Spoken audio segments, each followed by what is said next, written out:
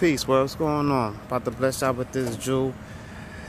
Uh, this jewel right here is pretty much about balance, you know what I'm saying? Because a lot of people, they they want things to be good all the time, and when it comes to the bad, they really shun on it. But you can't. You gotta accept it all.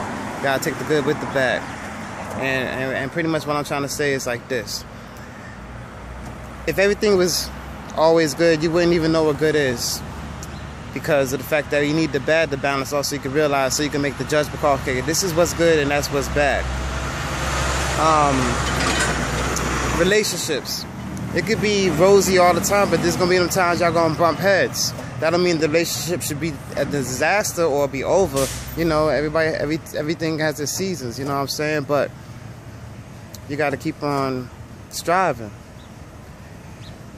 just like day and night, you wouldn't know what day is and what night is. If, if it was always dark all the time and, and, never had daylight, you know, you wouldn't know what daylight is. So, you know, we got to have day and night. We need a balance, good and bad, black and white.